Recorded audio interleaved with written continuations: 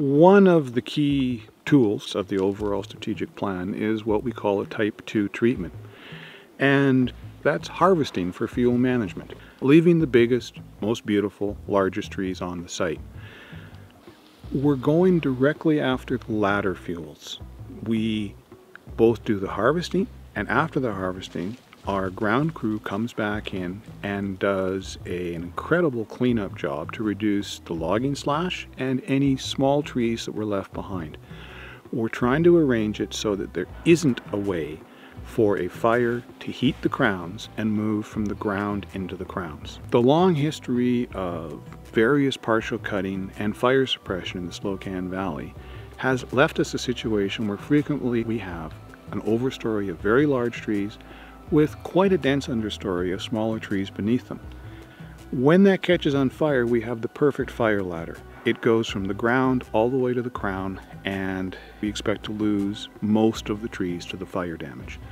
Type 2 takes that and converts it to an open forest of large stems with very little fuel beneath them that we believe is very resilient to fire and that will continue to provide values like wildlife habitat, scenic, spiritual, beautiful habitat, and water production right after the harvest and after moderate fires.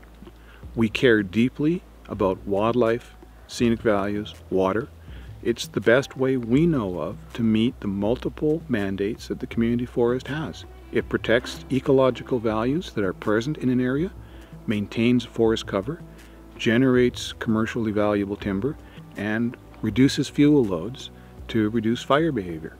Our type 2 treatment is the least expensive of our four types of treatment that we do at the onset. It's the one that therefore can be used the most extensively. We use it a lot in areas that are accessible, in areas that we can actually extract a merchantable component from the stand. What I really liked about our type 2 treatment is it actually marries uh, economy, forestry, and climate change adaptation. So it's the type that really allows us to meet our objective as a forestry company, but simultaneously adapt to what's coming our way in terms of climate change. Our experience at SIFCo with Type 2 has been really great because, you know, 100% of our AAC over the next five to seven years is actually going to be coming from Type 2 treatments. So essentially, we've moved all of our forestry operation towards climate change adaptation. So everything that we do currently in terms of our forestry activities is climate change adaptation. And that's the amazing thing about type 2 is it allows you to meet your mandate as a forestry company and simultaneously do climate change adaptation. And often people see those as mutually exclusive. When we think of our provincial scale challenge that we're currently facing in terms of the, the amount of wildfire we're experiencing provincially every year, and, and when we really start digging down as to how big of a challenge it is to deal with that, uh, often we hit a wall. It's like the problem is way too big for us to handle. But if forest companies in BC would move to doing type 2 treatments, we would meet both of our objectives. We want to create jobs.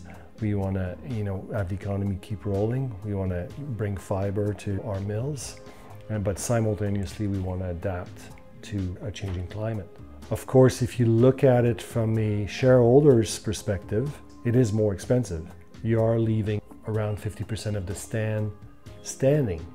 You're not extracting all of the fiber that's on the on location, but you're leaving behind a stand that's adapted to climate change.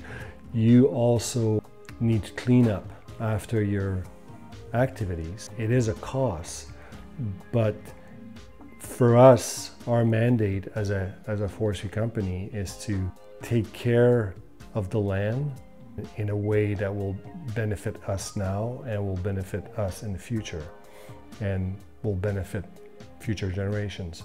One of the things I love about the type 2 treatment where we harvest for fuel management but leave a stand of large trees behind us is how we're headed to a snag management, coarse woody debris provision, very large stem habitat for animals, birds, perching birds, bugs, small critters, the whole amazing spectrum of biodiversity that needs large diameter trees to be healthy and survive. And they're supposed to be there for a considerable length of time, some of them in perpetuity. We used to call them full cycle trees. They're supposed to get giant, become huge old old growth stems, eventually die, stand around for a century as a dead tree, then fall over and be a huge dead log. That's the plan for these areas, is they will have that going on. It's a critical component of ecosystem management in a forest, and the type 2 treatment just sets it up. I think we can easily imagine uh, forest companies around BC being busy for the next two decades um, doing this type of treatment all around the province during employment, meeting the AAC, and slowly bringing the forest back to the conditions that it probably would have been in if we had not introduced fire suppression 70 years ago. So for us, it's a no-brainer. It's like, let's do that across the landscape. Let's do that at a landscape level so that if there is a large wildfire that starts in this area, the landscape is going to be adapted.